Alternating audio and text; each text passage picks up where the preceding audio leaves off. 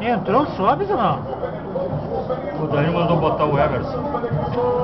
O tempo foi o placar do futebol. 48 Muita tacapenga na direita, cara. Estamos, no segundo tempo. Puxados. Não tem mais jogo, cara. Jogo louco, cara.